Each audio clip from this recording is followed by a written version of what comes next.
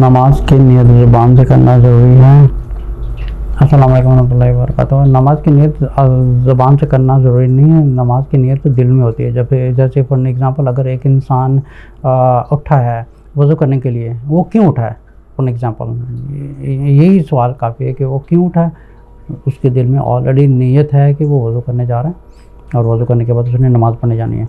अब ये जो लॉजिक है, ये जो चीज़ें पब्लिक को ख़ुद भी एक इन्वेस्टिगेशन करनी चाहिए थी कि ये चीज़ शुरू कब से हुई है और किसने शुरू की है और क्यों शुरू किया? क्या वजह है इस बार सारी, ये जो मनापली अपनी नीयत है, ये कहाँ से आई है? ठीक है?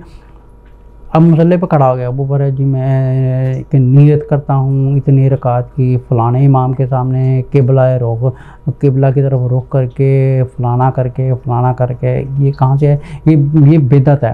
क्योंकि एक ही अगर को, अगर आप दीन के मामले में कोई चीज़ ऐसी ईजाद करेंगे जो रसूल सल्लल्लाहु अलैहि से साबित नहीं है, यही बिदत होती है। अगर कि इमाम हो या मैं हूँ या मैं कोई आपको एक चीज़ बता दूँ कि आप, ठीक है, आप एक काम कीजिए कि आप मसल्ले को जो है ना उठा के आप थोड़ा सा इधर कर लें और मसल्ले के ऊपर काबा की फ़ोटो लगा दें या ये कर लें, ये सारी बिदत है। और बल्कि मसल्ला भी ऐसा होना चाहिए जो बिल्कुल साफ़ सुथरा और बिल्कुल प्लेन है। मसल्ले हम काबे वाले या ये चीज़ें यूज़ नहीं करनी चाहिए।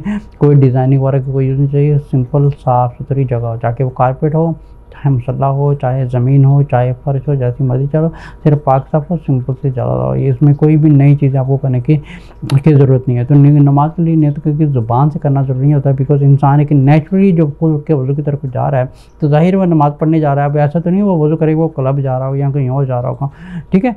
तो यहाँ से जब उठता है, कि नमाज़ की नीयत से ही उठता है। फजर में उठता है, अलार्म बजता है, वो क्यों उठा है नमाज़ की नीयत से उठा है। अब जी, सारे वज़ू करके सारे खड़े होके वो मसले पर खड़ा हो गया, जी, मैं दो रकात फ़र्ज़ के, फजर की, नमाज़ के, फलाना पीछे तो कोई इमाम है नहीं, मैं खुद पढ़ रहा हूँ। इसलिए किस्म की नीयत में एक बिल्कुल भी जायज़ नहीं है। इसमें कोई भी नीयत करना ज़रूरी नहीं है।